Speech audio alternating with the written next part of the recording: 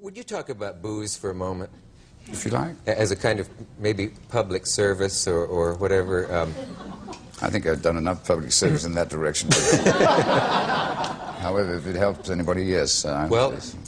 it, it, it, might very well. Um, I guess what, what I want to know is how, how do you know when you're in trouble with your...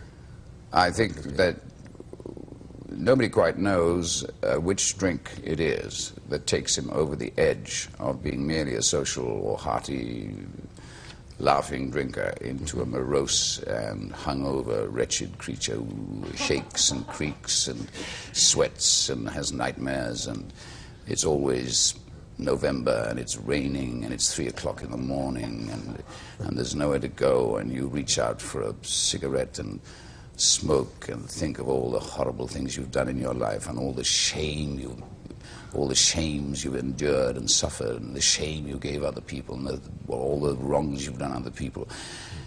I don't know whether alcoholics can put it quite as eloquently as that. Usually, they they just say, "I just stared out of a window for two years," and um, it is, I believe me, uh, the question of uh, being an alcoholic. I'm not quite sure that I am one, but if I'm not one, I'm very near.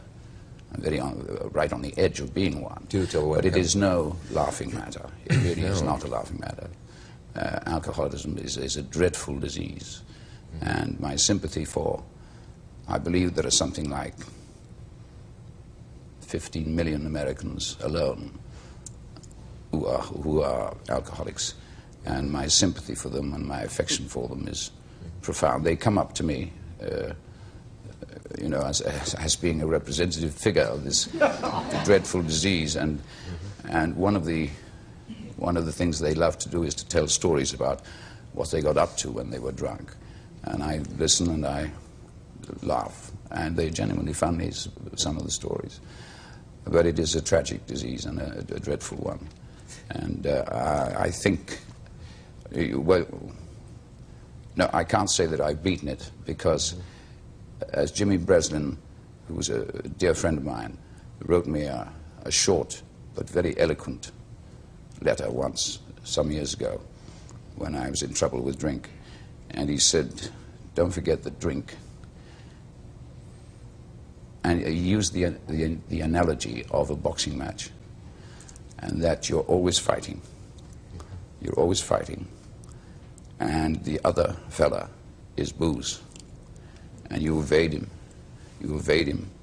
But one of these days, unless you're careful, he's going to nail you right on the chin. And down you go.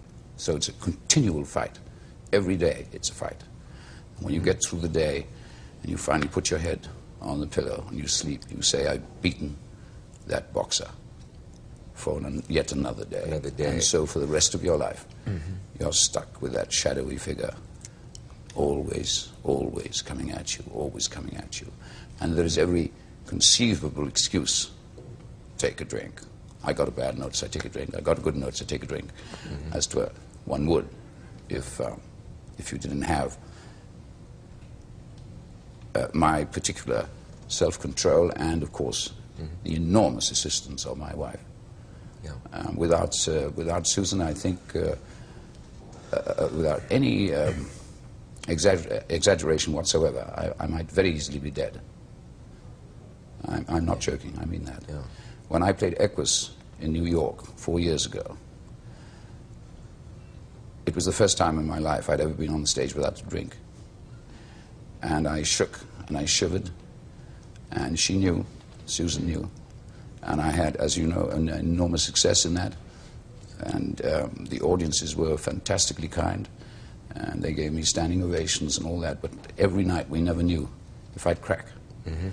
And never once, for instance, did she hide the booze or anything like that. There was a bottle of vodka and there was a bottle of gin right in the dressing room. All I had to do was open the door and there it was. Yeah. And it was, uh, it took, I was in it for 12 weeks. Uh, and one performance which uh, Tony Perkins very kindly gave me mm. on a Saturday matinee to, to uh, sort of run me in before anybody knew I was going to be in it, uh, that I was opening. Uh, so uh, we counted the performances. It's the only time. I don't count them in Camelot because I'm over that, yeah. over that hurdle. Uh, but he's still there. That fellow's yeah. still there. And all I can say is to anybody in this country or in the world who has the same problem, you have my deepest sympathies, and I hope you have a wife like mine, that's all.